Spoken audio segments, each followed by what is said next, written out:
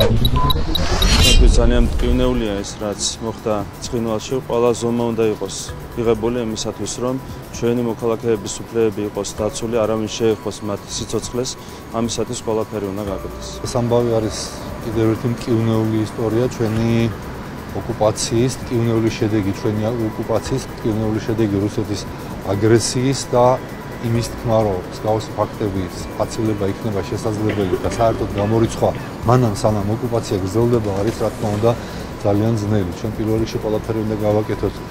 ბიჭების გასათავისუფლებლად რომლებიც დღესაც დაპატიმრებულები არიან და ამისთვის საერთაშორისო საზოგადოების მხარდაჭერის რა თქმა უნდა უდიდესი იმედი გვაქვს და ამავდროულად ყველაფერი უნდა გავაკეთოთ იმისთვის რომ ოკუპაციის დამთავრება იყოს ჩვენი მთავარი ამოცანა. საერთაშორისო საზოგადოებასთან ერთად სამწუხაროდ საქართველოს მარტო არ არის რუსეთის აგრესია ძალიან ბევრ ქვეყანაზე მათ შორის ჩვენს მეგობარ უკრაინაზეც მაგრამ საერთაშორისო მხარდაჭერა გვაძლევს იმის შესაძლებლობას რომ დამთავრდება